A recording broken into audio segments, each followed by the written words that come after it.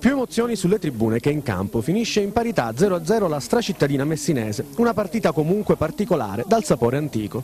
Atmosfera nostalgica all'interno del vetusto stadio Giovanni Celeste gremito oltre la capienza prevista, come ai tempi della Serie B.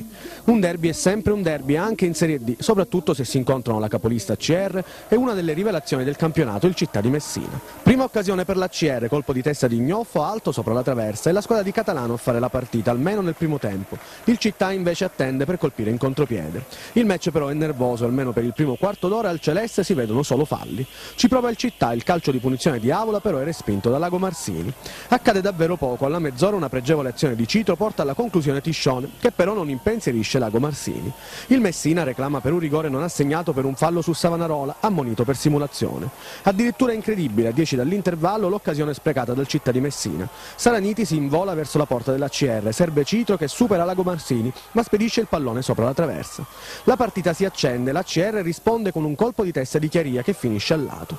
In avvio di ripresa Cito ha tra i piedi il pallone dell'1-0, l'attaccante del Città però viene fermato da Lago Marsini. Padrone di casa intraprendenti nel secondo tempo, Tiscione crea scompiglio nell'area della CR ma conclude al lato. Episodio da rivedere al minuto numero 17. Cross di Tiscione, colpo di testa botta sicura di Saraniti. Lago Marsini respinge ma non controlla. Il Città di Messina esulta ma l'arbitro Giua non convalida la rete perché il pallone non avrebbe superato la linea bianca. Azione dubbia, episodio che aggiunge un pizzico di nervosismo in più a un match già di per sé decisamente teso.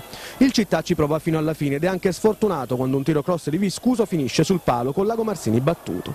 Catalano tenta la carta Quintoni per dare un po' di brio a un reparto offensivo in giornata no, ma è ancora il Città ad andare vicino al vantaggio con una punizione di Tiscione. Finisce 0-0 nonostante i 4 minuti di recupero. La corsa del Messina verso la seconda divisione continua, il Città invece si conferma tra le squadre più interessanti del girone I di Serie D.